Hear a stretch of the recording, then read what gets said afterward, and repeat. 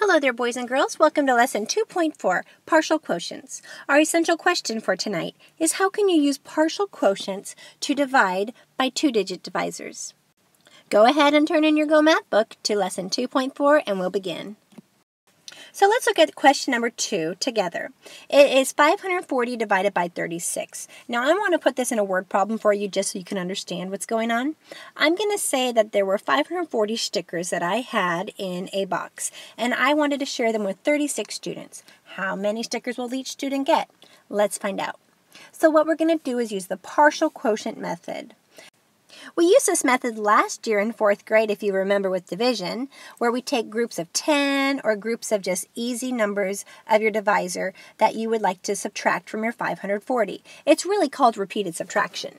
So let's go ahead and say if I had 540 stickers and I want to share them with 36 kids, how many would each get? Well, let's go ahead and start off with an easy number that I can take away from my 540. If I had 36 kids and I wanted to give each kid 10 stickers, I would take away 360 from my 540. So will you go ahead and write 360 in your Go Math book right below your 540. So we're subtracting 360 stickers from our 540 stickers. That means each of the 36 kids have already received 10 stickers each.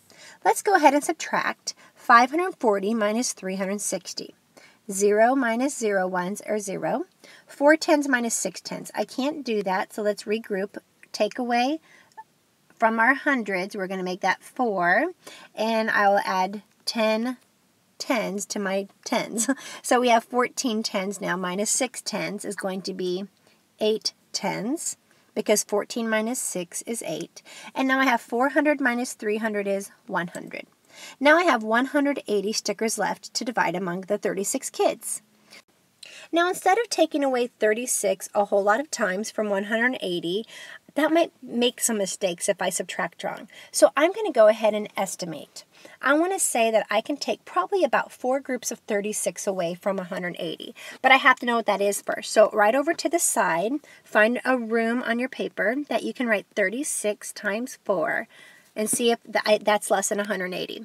6 times 4 1 is uh, 24 ones. 4 times 3 tens is 12 tens, plus another 2 would be 14 tens. So that's less than 180. So I can subtract 4 groups of 36, and that's going to be 144. So let's go ahead on our paper together and write 144. And how many groups of 36 is that? 4. Let's go ahead and subtract that. 180 minus 144 is going to be, I'm going to go ahead and regroup, make that six ones, three tens, and zero in my hundreds. Well, look at that. I still have 36 stickers still to divide among 36 kids. And I know I can give each one of those kids one sticker each. Therefore, if I add up all of my partial quotients, I have 10 plus 4 plus 1 is 15. So I could say 540 divided by 36 is 15. And if you're not sure if you did it right, you could always check with multiplication 15 times 36 and see if it equals 540. Okay, boys and girls, now let's look at question number four. It says 478 divided by 16.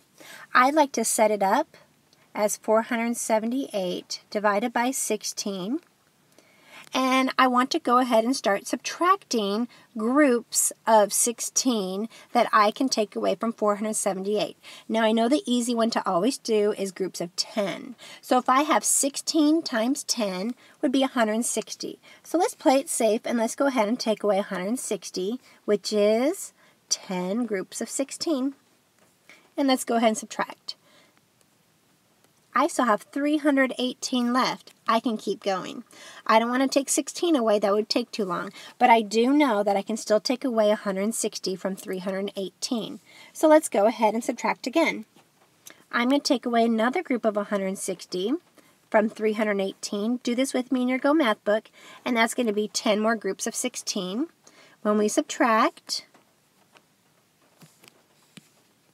I have 158. Now, can I take away 160 from 158? I can't because it's not enough. But what I do know is number sense, and I know 158 is really close to 160. In fact, it's just two away. So I'm going to pick a number very close to 10, but not greater than 10 because this is less than 160. I'm going to be safe and say 9. Let's do 9 groups of 16. So I'm going to put 9 over here, but I have to figure out what is 9 times 16. Let's find a happy place on your paper somewhere and do 16 times 9. I use a commutative property and switch those around. 16 times 9. 9 times 6 is 54. 9 times 1 group of 10 is 9 tens plus 5 more tens will be 14 tens, which actually makes my answer to be 144. So let's go ahead and take away 144 from my 158, and that's going to be 4 in my ones place and a 1 in my tens place. So let's add this up. 10 plus 10 plus 9 is a total of 29 with a remainder of 14. Now my remainder is kind of big, isn't it? But remember, if your remainder is less than your divisor, you're done. You're finished. You can't subtract 16 from 14 at all. So if we were to call this a word problem, I could have said I had 478 pieces of bubble gum I shared with 16 kids, and each kid received 29 pieces, and I had 14 left over for myself. All right, if you think you know how to do this based on partial quotients, you can try to pause the video now and try it on your own and then press play and see if we agree. If you're not confident, go ahead and do this next one with me. Okay, the equation is 625 divided by 25. Let's say I had 625 seashells and I want to share them with 25 kids in the classroom. All right, can you think of a number you could take away from 625 that are groups of 25? Now I know 10 groups of 25 is going to be 250. But I also know that I could do 20 groups of 25 and that would be 500 because 25 times 20 is going to be 500. Okay, so I'm going to go ahead and take away 500 from my 625, which will be 20 groups of 25. Now suppose that you didn't want to take away 20 groups to subtract 500, and you wanted to take away 250, which is 10 groups, and minus 250 again, which is 10 groups. You're still going to end up with 125 right here, and that's fine. Um, do whatever is easiest for you. Now we have 125 to divide between 25 kids. I still have 125 shells right here. So let's go ahead and list our multiples of 25. 25, 50, 75, 100, 125. I can take away 125 from 125. And when I count by 25s, I have 25, 50, 75, 100. That's four 25s. Plus one more 25 is going to be five groups of 25 and there's nothing left over, so my answer will be 25. So each kid got 25 shells. Okay, let's go ahead and try number 8. 322 divided by 14. Go ahead and press pause if you want to do this on your own. If not, just go ahead and continue doing this with me. All right, we're going to start out with 322 divided by 14.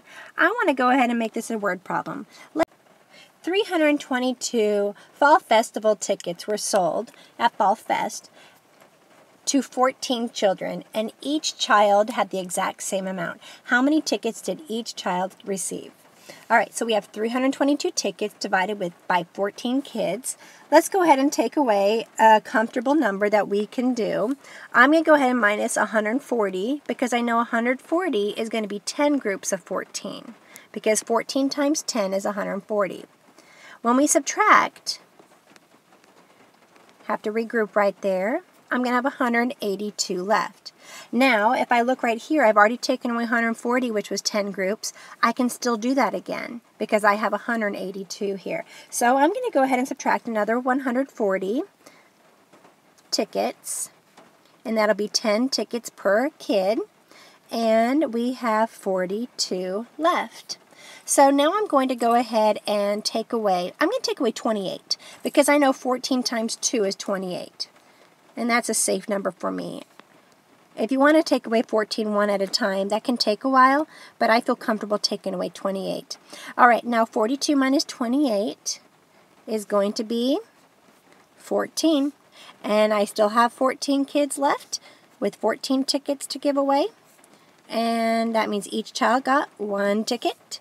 And now we have zero as a remainder. Therefore, how many tickets did each child receive? They received 10, 20, 21, 22, 23 tickets each. And if you feel comfortable, you can always multiply 23 times 14 would equal 322, just to check it. Okay, question number 10 says A factory processes 1,560 ounces of olive oil per hour. The oil is packaged into 24 ounce bottles. How many bottles does a factory fill in one hour? All right, boys and girls, go ahead and set up your equation. 1,560. We know that it's packaged into 24 ounce bottles. And there's a total of 1,560 ounces. We want to know how many do they fill in one hour. All right, because it, it says per hour is how much they um, process. Okay, go ahead and you can pause the video and work this one out on your own if you feel comfortable, or you can go ahead and do it along with me for guidance. All right, now I can subtract 240, which is 10 groups of 24, but I would rather, but looking at my dividend, it's pretty big. That's going to take me a long time. I know 24 plus 24 is 48, so I'm going to go ahead and take away 480 from 1,560. And that's going to be 20 groups of 24. Now let's go ahead and subtract together.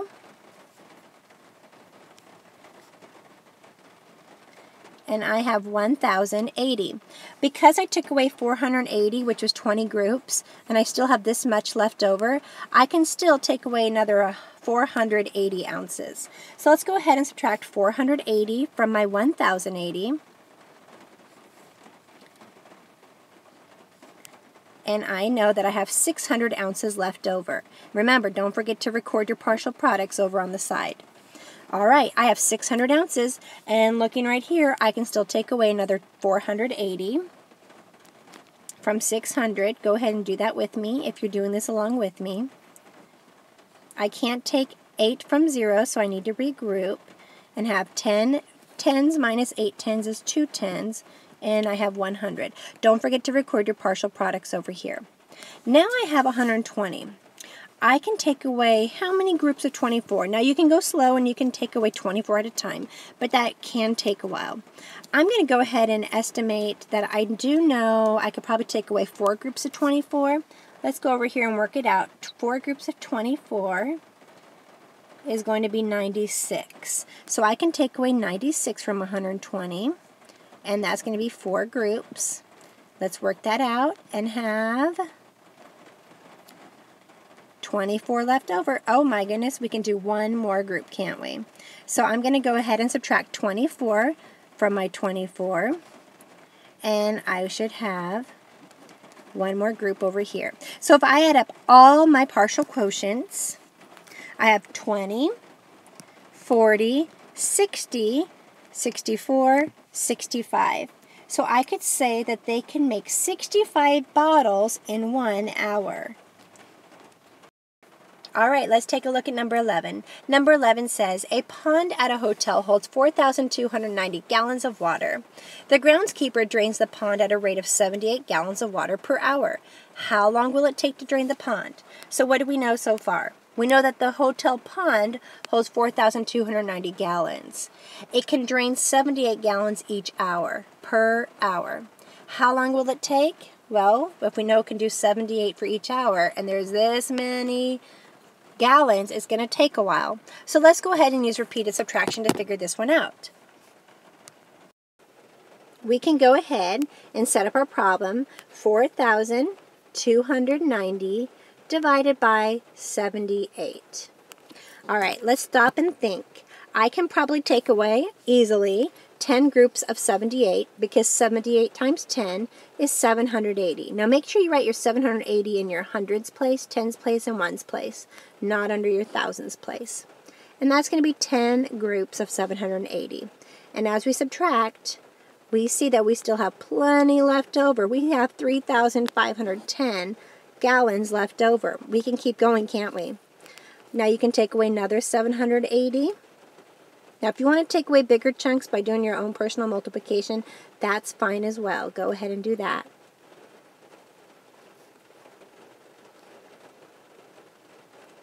I have 2,730 left. Is that what you have on your paper? All right, now let's take away another. We could take away another 780, but you know what? I'm looking, that's going to take a while. I'm going to come over here to the side, and I'm going to go ahead and add up 780. I'm going to do another 780 and another 780, so three times. And let's see how much we have. That's 2,340. I can take away that many. 2,340. I just saved myself a bunch of steps. And that's going to be 30 groups of 78. And why did I get 30 instead of 10? Because here's 10 groups of 78, another 10, and another 10. So that's going to be 30 groups. All right, let's go ahead and subtract. Oh, this is going to be so much easier now because we did a bigger chunk. Okay, 13 minus 4 is 9 tenths and 300s. Okay, now I can take away more groups of 78, but I know I cannot take away 10 groups because that would be 780. So let's go ahead and cut that in half. Let's go ahead and do 5 groups of 78. So somewhere off to the side, do 78 times 5 with me. Okay, 5 times 8 is 40. 5 times 7 is 35, plus 4 more is 39. Look at that. I had a good estimate, didn't I? So let's go ahead and take away 390, which is going to be 5 groups of 78. And there's nothing left over. Add up your partial quotients. 10 plus 10 plus 30 plus 5 is going to be 55. It's going to take 55 hours to drain that pond. That's going to be a long time. Okay, go ahead and turn your Go Math book over to the next page, and I want you to answer questions 1 and 2 on your own. Please show your work in this section. Now, if you don't have enough room in this section, you can always get a piece of notebook paper, but if you do, please tuck it in your book so when we come around and check, we can see that you showed your work. Because they don't really give you a lot of room in your Go Math book on this type of a question. And please don't forget to rate yourself up at the top of your Go Math page because this is where Miss Wingo and myself will be looking for how you feel about this topic. All right, at the top of your page, please either write 1 for novice, 2 for apprentice, 3 practitioner, or 4 for expert. And don't forget, also, we expect you to do questions 3 through 6 all on your own, and we will check those tomorrow first thing in class. Have a great night.